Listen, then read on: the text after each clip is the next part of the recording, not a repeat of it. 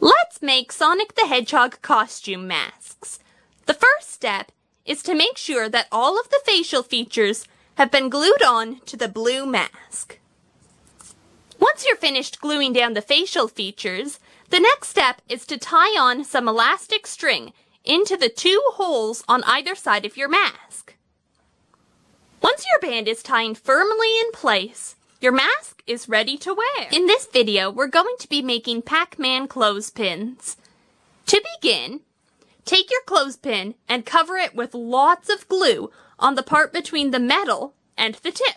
Once you've finished gluing, take your two yellow paper semicircles and attach them to the clothespin.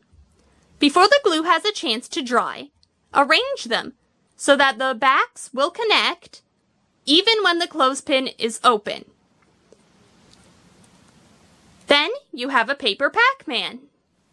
If you want to make Mrs. Pac-Man, take an already made Pac-Man, which you can make using the steps we just went over.